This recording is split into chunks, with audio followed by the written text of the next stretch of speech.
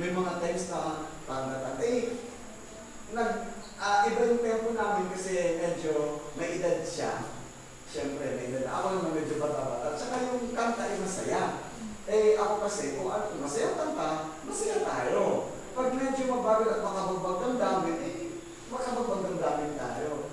Naku, ginagano talaga ako yan. Yung nagpa-piano, imagine sa mga center, di ba? Tapos nagpa-piano, gaganon ka. Ah, gaganon ako rin.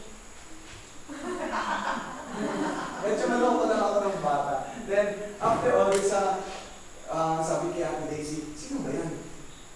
Ay, si Lilian. Eh, ano ba yan? Bakit pati uh, hindi sumusunod sa akin? Pasensya ka na kasi nag-aaral niya ng music sa CCP. Sabi kahit engineering yan, nag-workshop uh, yan sa CCP. Kaya ako nagtatanong ng mga basic na ganito.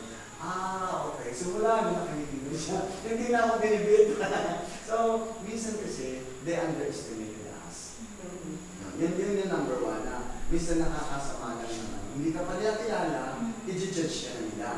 So, pero bilang Adventist ako, pinabayaan ko yan kasi dahil sa mga bagay na three times ako ng box nine.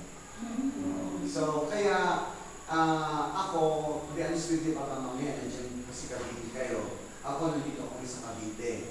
Uh, academic head ako ng isang school. Baka may makilala kayo, ah, si Lily ka ba ka? Tapos sasabihin sa inyo na ganito ganun. Kasi hindi ko pinapakilala ang sarili ko sa Adventist.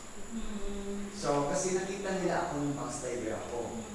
So, ayoko masira ang image ng Adventist na, oy, si Willie nga, eh, umiinom yan eh, ganun, ganun, ganun. Kaya siguro naman, tsaka, pero ano ba yun? so, that's why, bumalik na ako sa fall. So, ayoko masira yung ibang ano. So, kaya, ang akin lang, hindi ako napapakilala ng Adventist, pero hindi ako kumakain ng mga, ba, ng bawal. Ay, kung, o yun, yung bawal, talagang bawal. Kaya, pag minsan, uh, kung hindi ko kumain ito, eh kasi, ano naman ako kasi, then na, kailangan natin ng help natin. Ah, oo. Kasi ganito, di ba? So, nakikinig patuloy sila sa atin. Na-experience, lalo kung na, na, ano, kasi pag, nung sinasabi kong Adventist ako, hindi ako kumakain yan, ah, okay, di ba, nagkanan niya.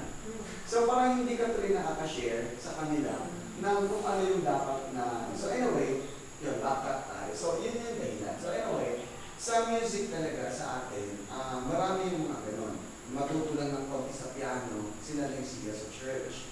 So, yun ang sabi nga kanina doon, dapat, pianista, pianista ka. Yung conductor, kahit man siya ay pangit or,